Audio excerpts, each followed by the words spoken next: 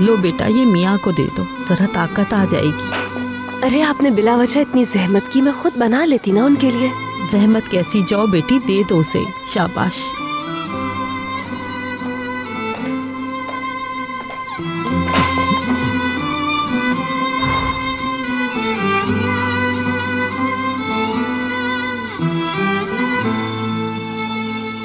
शुक्रिया तुम्हारा।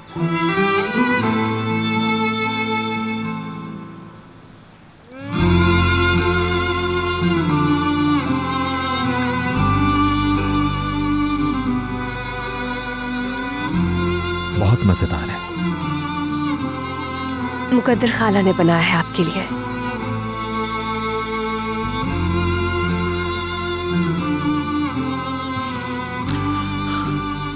मेरी तरफ़ से बहुत बहुत शुक्रिया। मुकद्दर आंटी का।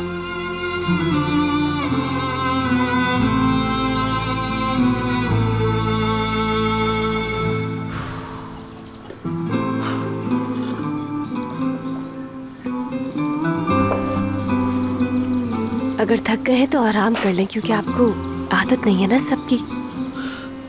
क्या कहा थक गया अभी तो मुझे पसीना भी नहीं आया।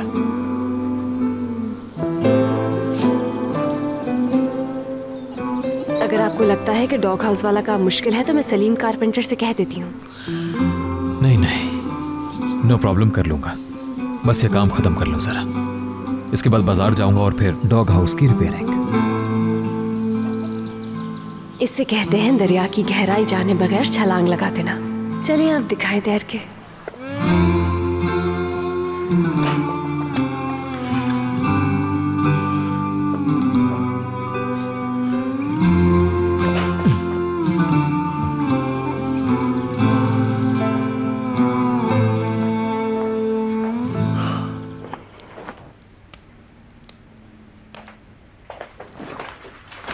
मुकद्दर आंटी कुछ चाहिए क्या? कहाँ जा रही हैं? थक गई हूँ बस। कितना आराम करूँ मैं? अल्लाह तुम दोनों से राज़ी हो। तुम दोनों कोई काम नहीं करने दे रहे मुझे। जो कुछ चाहिए होता है फ़ौरन देते हो। अच्छा।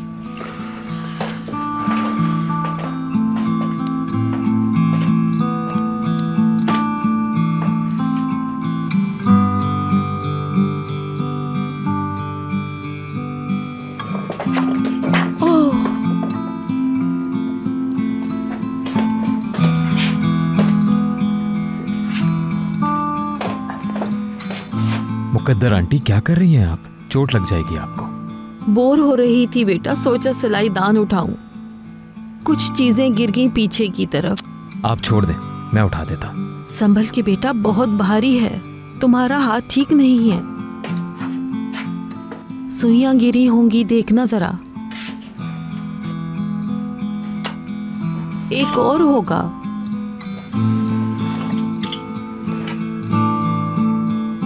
अल्लाह खुश रखे तुम्हें। डॉक्टर ने जो कहा था वो मत भूलिएगा। आपको आराम करना है बस। हाँ बेटा सिलाई कढ़ाई है इसमें क्या थकन? शुक्रिया। खुश रहो।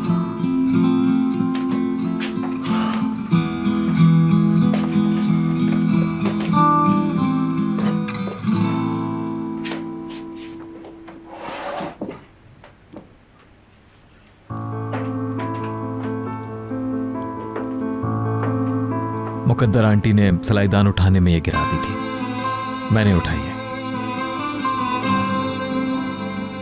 मैं बाज़ार जा रहा हूँ। आके डॉग हाउस रिपेयर करता हूँ।